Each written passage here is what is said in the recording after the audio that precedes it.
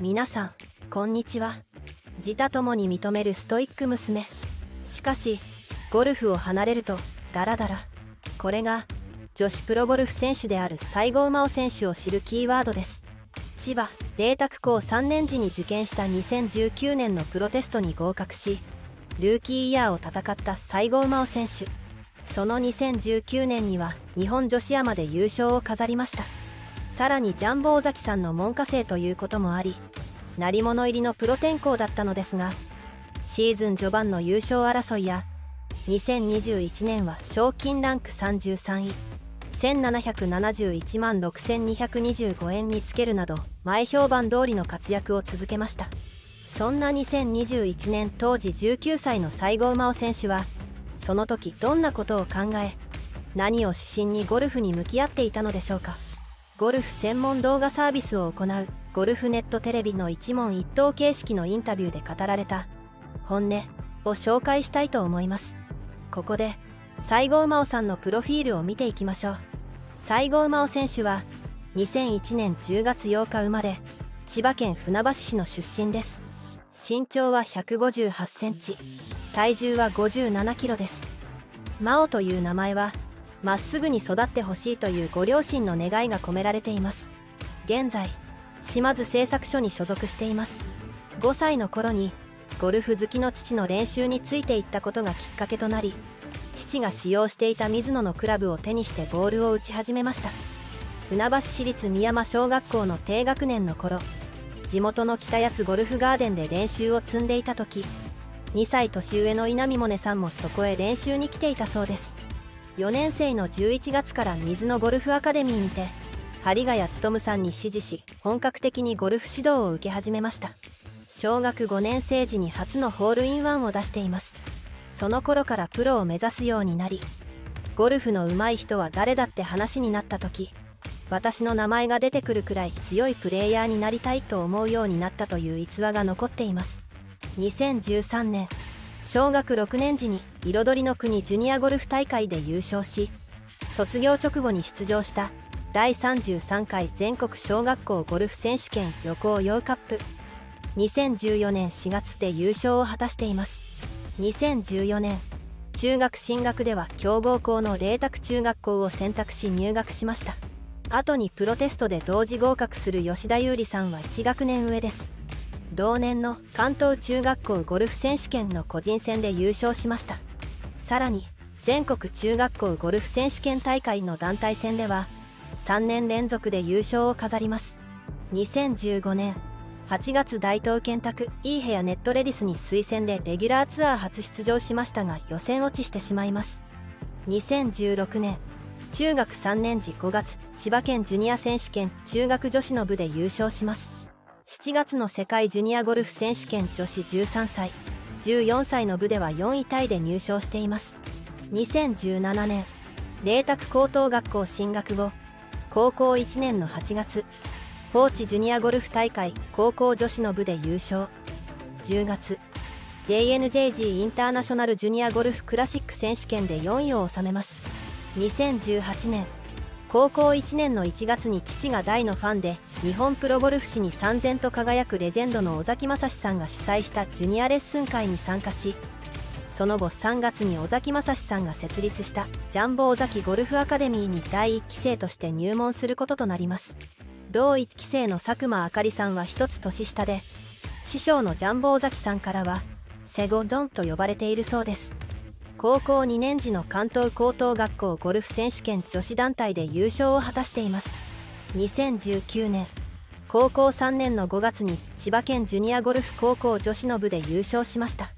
その後も活躍が続きますが日本女子プロゴルフ協会 JLPGA プロテストに合格し前述の通り2020年1月1日付で正式に日本女子プロゴルフ協会に入会登録し名実ともにプロゴルファーとなりました。92期2020年からプロに転向し2022年にはツアー初優勝を達成しています。また同年にツアー史上最速となるシーズン10戦で5勝という快挙も達成しました。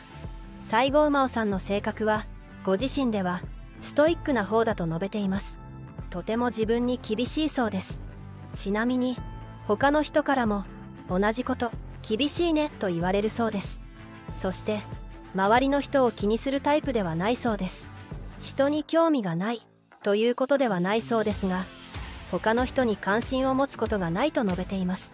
ベストスコアは64ワーストは覚えていないそうですがゴルフを始めた頃に100くらいは打っていたそうです。ゴルフを始めてからコースに出るまで結構時間をかけたそうで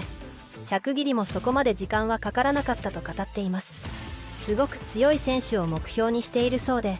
そういう意味でも尊敬しているとのことです。ラウンド中にイライラした時の対処法はボールを変えてみたりキャディさんに愚痴を聞いてもらったりしているとのことです。あとは甘いものをバッグに入れているのでそれを食べるなどしているそうです。試合前のルーティンとして長い時間をかけてストレッチをします。朝ホテルでもやったりコースに着いてからもやったりすると言います。海外への憧れは持っておりようでいずれ行ってみたいと考えていると述べています。ゴルフ以外の時間の使い方はどうしているのでしょうか。西郷真央さんはゴルフをしてない時は何もしてないです。だらだら過ごしているかゴルフをしているかの2択なんですと語っている通りオンとオフの切り替えはできているようですがやはりゴルフのことが頭の片隅には常にあるようです。19歳という若さで賞金女王ランキングに名を連ね現在注目度がぐいぐい上昇中の選手ですがゴルフファンの間では何よりもめちゃくちゃ可愛いということが話題に上がります。評判も上々でゴルフ界には渋野日向子選手以来のニューヒロイン誕生かとささやかれているそうです。西郷真央選手の特徴は何といってもその整った顔立ちでしょう。渋野日向子選手はスマイルシンデレラの愛称通りくしゃっとした笑顔が可愛らしいファニーフェイスでした。西郷真央選手はどちらかといえばしっかりと整った美人系と言えます。そしてちょっとふくよかな体型もぽちゃっとしていて可愛いと言われています。とその筋の方々を引きつけているようです。もう少しスレンダー体型ならば無敵の可愛さだという人もいますがゴルファーとしては現在の体型の方が存分にパワーを発揮できそうではあります。ということで競技を続ける以上はダイエットなどをされることはないのでしょう。とはいえ引退された後はスポーツタレントキャスターなどいろいろな道が用意されているかもしれません。タレント活動の際にはスレンダーな西郷真央選手も見てみたいというファンもいます。そんな西郷真央選手のカップサイズが気になる方も多いそうです。西郷真央選手のカップはもちろん公表されていませんが画像から予想した方がいました。推定 D カップくらいはあるのではないかという考察がされています。ファンの執念もすごいものがあります。ある方は西郷真央選手の水着姿がどうしても見たいということで探してみたそうですが残念ながら水着姿の画像はネット上には存在しませんでした。ところで師匠のジャンボ尾崎さんからセゴドンの愛称で呼ばれている西郷真央さんには結婚については噂レベルの話さえ全然見当たりませんでした。年齢的にも全然急ぐ必要はないですし今はプロゴルファーとしてゴルフに集中したい時期なのかもしれません。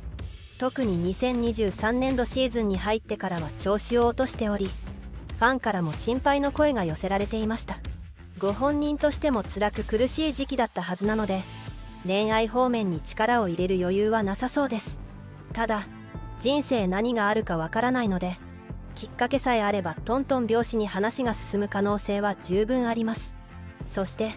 もし嬉しいご報告が届いたなら多くのファンたちから祝福してもらえるはずです。そのため結婚相手となる旦那さんとどんなご縁で結ばれるのか今から楽しみです。西郷真央さんに現在彼氏はいないようです。ご本人が公言しているわけではないので正確なことは分かりませんが熱愛報道なども全然見当たりません。そのため特定のお相手はいないように見えます。アマチュア時代から好成績を残していてプロになってからも賞金ランキング上位にランクインするほどの選手です。ツアーでは各地を転戦する必要がありますし合間の練習時間を考えるとあまり恋愛に時間は取れないかもしれません。そもそも競技を優先している場合は彼氏を作る気がない可能性もあります。それに男性との出会い自体はイベントなどでたくさんあるかもしれませんが単純にいいご縁がない場合もあります。ただプロのアスリートとして素晴らしい成績を残しルックス的にも可愛らしい彼女なので好意を寄せる男性はたくさんいるはずです。素敵なお相手が見つかれば交際から結婚まで一気にお話が進んでもおかしくないと思います。西郷真央さんの元彼はどなたなのでしょうか？ご本人からお話しされたことはありませんし噂レベルのお話さえ見当たりません。20代前半の若い選手なので元彼となると学生時代のお話になりそうです。その場合わざわざ話す必要がないから公表していない可能性が高そうです。もしくは小さい頃からゴルフを頑張ってきたため恋愛方面のご縁はあまりなかったのかもしれません。西郷真央さんの好きな男性のタイプを調べてみましたが分かりませんでした。インタビューなどで質問されていそうですが全然見当たりません。何か参考になりそうなお話がないかも探してみましたが紹介できそうなものもありませんでした。そのためあまりこだわりがないタイプなのかもしれません。